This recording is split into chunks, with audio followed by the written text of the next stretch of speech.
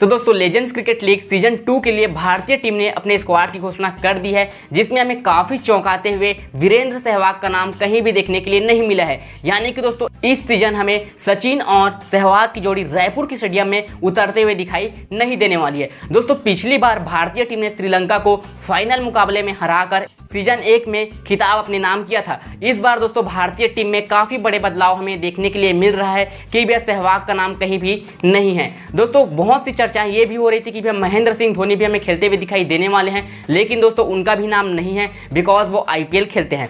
दोस्तों legend cricket league का शुरुआत दस सितंबर से होगा, जो कि एक अक्टूबर तक चलेगा। यानी कि एक अक्टूबर को हमें फाइनल का मुकाबला भी देखने के लिए मिलने वाला है। दोस्तों अगर बात की जाए भैया टीम की तो, तो टीम सीज़न एक की तरह ही मिलती जुलती है। बस कुछ एक दो बदलाव ही हमें देखने के लिए मिलने वाले हैं। तो चलिए दोस्तों जानते हैं कि टीम इंडिया ने किन खिलाड़ियों को अपने स्क्वाड में शामिल किया है।